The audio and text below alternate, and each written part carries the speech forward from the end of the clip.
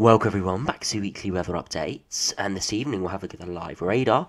We'll also have a look at the latest from the UK Met Office shorter range model and then we'll also go through the various longer range models um, having a look at the potential for some really quite stormy weather over the coming weeks as autumn truly does arrive. So do remember if you enjoy my videos make sure you do like and subscribe and do remember to follow on Twitter as well, the link's in the description. So at the moment, if you have a look at the live radar, you can see the weather front that spread through overnight uh, last night into this morning.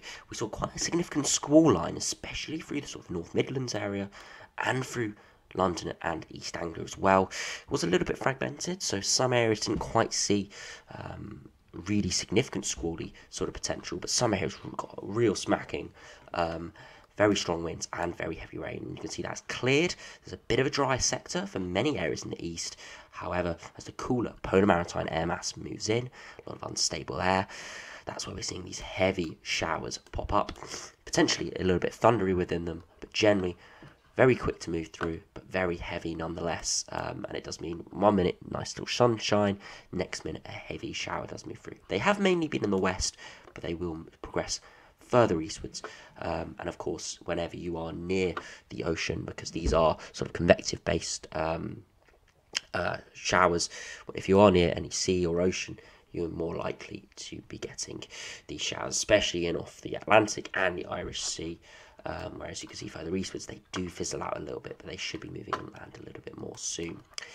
So if you do have a look at the 24 hour precipitation, you can see all of the British Isles are seeing heavy rain um, and potentially very, very heavy rain, especially over Scotland. You can see here with this yellow colour 40 to 60 millimetres plus. Um, and in a few spots even more, and widely 20 millimetres, 10 to 20 millimetres for many areas of England, Wales, and again, a few spots seeing more. Um, so, pretty much all of the British Isles has seen some significant rain over the last 24 hours, and I expect there still will be some more showers to come over the coming days and more deluges as well as more weather fronts do progress in off the Atlantic. So if we do have a look at the UK Met Office run, if we do have a look at the precipitation, if we do run through it, uh, we'll go back to the three o'clock run um, so we could get some consistency. Um, yeah, let's go to the latest run. So if we do have a look at the latest um, from the UK Met Office, you can see heavy showers moving through overnight tonight. And then early hours tomorrow, still heavy showers in the west and potentially some more persistent rain around midday tomorrow in Wales, into northern England and the southwest as well. Progressing eastwards, fizzling away a little bit, but still a well defined weather front with some very heavy rain moving through around 4 5 pm. So quite significant there. Progressing eastwards, and then just more showers pushing in behind it. And then another deluge moves through. Um, and you can see here uh, does look like um, the model does cut out at 53 hours, but you can see another deluge is approaching by Wednesday um, with some very, very heavy rain pushing through. And if we do have a look at the 3 o'clock Sunday run, so we had a look at yesterday, once again, more showers pushing through by the end of the week. Um, and does look like we could be seeing some quite significant conditions for some. If we do have a look at the max temperatures, generally over the next few days, it's going to be cooler than it has been recently. Um, by Tuesday afternoon, only 16, 17, 18 degrees, which isn't too bad for this time of year, but we are a good 4 or 5 degrees above that um, over the weekend and widely for western areas under the more cloud and with more showers, struggling around 10, 11, 12 degrees, in some areas even staying in single digits, which really is um, pretty chilly and then all the way into Wednesday, you can see temperatures once again really only 12, 13 degrees, really quite autumnal and chilly as we've got that polar maritime air mass pushing through.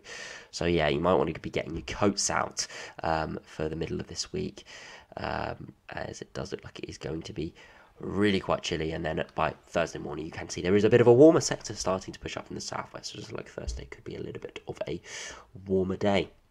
So if you do have a look at the latest GFS, you can see it is looking um, very unsettled at the moment. And I have had a look at this already, and it's very interesting towards next weekend. And there's the potential for a named storm if this current GFS came off, um, as it gets a really vigorous low pressure system over top of the UK. So if we do run through it, um, you can see generally just low pressure systems pushing through over the coming days. Warmer and cooler sectors, so some days are going to be quite chilly, other days could be a little bit milder. You can see Thursday's a milder day, however, you can see Wednesday much chillier as we saw with the UK Met Office run. Beyond that, you can see as we head towards Sunday, a really vigorous low pressure system does spin up around the UK. A lot of northern blocking out towards Greenland is trapping these lows, spinning them up incredibly deep. Um, and if we have a look at the United Kingdom, look, getting down to 952 millibars, which is um, exceptionally deep. And if, if, this did come off, um, I would suspect there would be amber warnings in force for wind if not potentially um, even red warnings, because this is an incredibly deep area of low pressure. Uh, area of low pressure. Um, is it likely to come off like this? Um, probably not, but this is a solution only around six days away, six seven days away. So um, it is, of course, uh, potentially going to be this deep. It is guaranteed to happen. We are going to see this low pressure push through. Just how deep it gets is the uncertainty at this stage. As well, have a look at the other runs in a minute. They all are all showing this similar low pressure system develop, just not quite as deep. And as we move through, it eventually does move to our northwest, and we stay quite unsettled. Um, and if we have a look at the 850 HPA, we have really quite cool, chilly polar maritime air mass pushing in from the northwest and that does sweep through Scotland. Could see some very cold conditions there, potentially getting below freezing at night. And then towards day 10 and beyond, just spinning up more areas of low pressure. We do briefly see some high pressure trying to ridge in from the south. It does turn a little bit dry towards the end of the run, but still, um, you can just see that westerly jet stream pushing in. And undoubtedly, there will be more weather fronts and more heavy rain at times. So if we do have a look at the GEM, that does compare to the GFS, especially in terms of next weekend. You can see a lot of low pressure around, does spin up, more low pressure by next weekend, and you can see again a very, very vigorous area of low pressure, getting down to 966 millibars, so not quite as deep um, uh, as the GFS. Still could potentially be a named storm. Um, and at this stage, I say it's pretty likely we see um, a name storm. I rarely would say that around six days away, but having a look at these latest model output, there's I'd give it a good chance potentially of seeing a name storm here. This one's a little bit shifted further northwards, um, but again, you can see very tight isobars. Will be some very heavy rain and very strong winds, and you can see beyond that generally very, very unsettled um, conditions continue all the way to day 10 where we see more weather fronts push through. If we do go to the European outlook, once again you can see another weather front pushing through, briefly potentially getting a bit of a southerly blast of warmer air, which may rise the temperatures um, through sort of Thursday, Friday uh, in 10 days' time. But again, it's going to be uh, accompanied by a weather front that will sweep through very, very quickly. So if we do have a look at the ECMWF, that does compare you can see very uh, vigorous low pressure system does move through by next weekend. And if we do look at the United Kingdom, look, you can see only 990 millibars. Still could be quite a vigorous area of low pressure, but nowhere near as deep as the other two. So, as I said, it's undoubtedly um, going to happen that we are going to see this sort of stormy weather into next weekend. But if it's a named storm and how deep and disruptive it is, is the question at this stage. And beyond that, as into Tuesday, we see another low pressure system and just more westerly winds. Um, continuing the very unsettled outlook. So if we do have a look at the UK Met Office um, up until 144 hours, I I normally only have a look at this in winter um, to give us another opinion as we get a lot of uncertainty in the winter and I know a lot of people are interested for winter forecasts but going to use it here just to have a look at what it is showing for next weekend. And you can see towards next weekend it really does spin up a big area of low pressure as well. Now getting down to maybe 970 millibars so still really quite deep.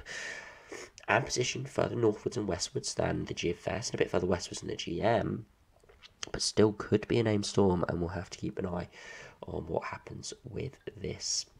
So if we do have a look at the UK Met Off, uh, or not the UK Met Off, sorry, the GFS ensembles, if have a look at the precipitation. Well, we did say yesterday there was some big spike come up around 3rd or 4th of October, and that is where this big low pressure system next weekend is cropping up within the models. So we did spot it yesterday. It wasn't quite coming up in the operational runs as deep as it is now, but it is now starting to come through. And you can see a lot of up and down weather quite cool at the moment and it's going to turn even cooler over the coming days. Probably by Wednesday, feeling really quite chilly. More weather fronts pushing through as well. Then we get a bit of up and down as temperatures do flip um, up and down with the colder and warmer fronts and generally stays really quite unsettled for the foreseeable future. If we do have a look at the sea level pressure, you can see summer going really deep by next weekend. Got a good 10, 12 ensembles going below a thousand millibars, um, which is, uh, or even more, 15 ensemble members, which is really um, sort of unusual for sort of six, seven days out. Um, so it does look look like it's pretty certain we are going to be seeing this really quite deep low move through. How deep and whether it's a named storm is the uncertainty at this stage. Um, we'll have to keep an eye on what happens. But as you can see some very, very vigorous low pressure systems are developing. And even more interesting is we can have a look at Glasgow, which will undoubtedly be closer to the centre of the storm um, or the low pressure system. You can see even deeper there, the average is around 990 millibars. But again, you can see a lot more variation, um, and you can see operational one going down to 965, which is incredibly low um, um for uh, sort of uh, early October time, and you can see the majority are below 1,000 millibars. So it's pretty certain we're going to be seeing low pressure. Just how vigorous, as I said, is the uncertainty at this stage. And where it is positioned, of course, will decide whether where we see the lowest um, pressure, because some of these, which are showing 995 millibars um, for Glasgow, could have the centre of the low um, over Northern Ireland or over Wales um, being 20 millibars deeper. So we have to take these, of course, with a bit of a pinch of salt because the centre of the load could be. Um, um, it's not going to be exactly the same on all of these ensemble members, but you can just see it's going to be an interesting weekend next week. If you look at the 850 HPA temperature and precipitation, you can see generally below average over the next 10 days. Then we do see quite a few going above average, um, but again, it's really quite uncertain, and there are quite a few that are going cooler than average as well a lot of precipitation around, no real respite for Scotland, um, and it does look like it's going to be pretty miserable out there. Um, but I do hope you can go and enjoy any sunny and dry weather you do see if you are in Scotland. If it is looking like real autumn is going to be arriving. Now, lastly, um, I just wanted to have a look at what the GFS uh, is showing for wind gusts next week. As we saw with the earlier in the video, very vigorous low pressure system. If we do run through the wind gusts, you can see generally 20, 30 mile per hour wind gusts over the coming days, maybe 40 or 50 miles per hour, potentially where we do see um, some weather fronts move through, maybe even 60 miles an hour towards Friday as a more deeper lower pressure system moves through. But as we head through to Sunday, you can see the developing low and it gets really quite severe. And you can see it's got almost an eye to it, only 10, 12 mile per hour gusts in the centre, but on the southern flank towards London, 60, 70, 80 mile an hour gusts inland, which is truly exceptional. Um, seeing sort of 70, 80 mile an hour sporadic gusts um, along the Needles, for example, along the south coast, um, or exposed areas like the Isle of Wight, is not un- unusual in an autumnal, wintry um, sort of storm. However, inland, getting up to 70 mile per hour, that is truly exceptional, and that would cause a lot of disruption um, throughout Sunday afternoon. Um, and it is quite, quite, quite, quite widespread across East Anglia, central southern England into Wales, um, and up into sort of northern England, Scotland. And as it does pull away, we could be seeing 80 90 mile an hour wind gusts potentially out in the North Sea. Really quite disruptive. Wouldn't be surprised to see ferries cancelled, flights cancelled for this. So could be a truly exceptional um, uh, sort of windstorm next weekend. But again, we'll have to keep an eye on what happens um, and how deep it does get. So anyway, thanks for watching. Hope you enjoyed. Subscribe if you're new, and I'll see you again for another video soon.